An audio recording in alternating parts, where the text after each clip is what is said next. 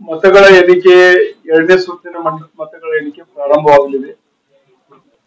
BJP ಸಂಘಟಿತವಾಗಿ ನಮ್ಮೆಲ್ಲ ಶಾಸಕರು, ಸಚಿವರು, ಪಕ್ಷದ ಕಾರ್ಯಕರ್ತರು, ಎಲ್ಲರೂ ಸಂಘಟಿತ ಪ್ರಯತ್ನ ಆಗಿದೆ. ಪ್ರಯತ್ನದಲ್ಲಿ ಎಲ್ಲ ವಿಫಲ ಆಗಿದೀವಿ ಅಂತ ಹೇಳಿ ನಾನು ಹೇಳೋದಿಲ್ಲ. ಆದರೂ ಸಹಿತ ಪ್ರಥಮ ಸುತ್ತಿನಲ್ಲಿ ಬಿಜೆಪಿ ಅಭ್ಯರ್ಥಿ ಆಯ್ಕೆ ಆಗ್ಬೇಕಂತಕ್ಕಂಥ ನಿರೀಕ್ಷೆ ಇತ್ತು. ಆದ್ರೆ ಕಡಿಮೆ ಮತ ಬಂದಿದೆ.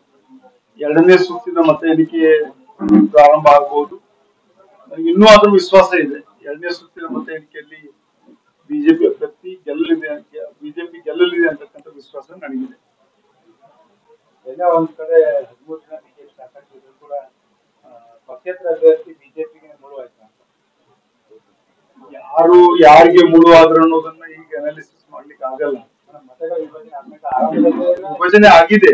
ವಿಭಜನೆ ಆಗಿದೆ. ವಿಭಜನೆ ಆಗಿಲ್ಲ ಅಂತ ಹೇಳೋಲ್ಲ. ಸಿಂಗಲ್ ಕ್ಯಾಂಡಿಡೇಟ್ ಕೊಟ್ಟಾಗ ಮತ್ತೊಂದು ಇಂಡಿಪೆಂಡೆಂಟ್ ಕ್ಯಾಂಡಿಡೇಟ್ ಹಾಕುವ ಅವಶ್ಯಕತೆ ಇರಲಿಲ್ಲ.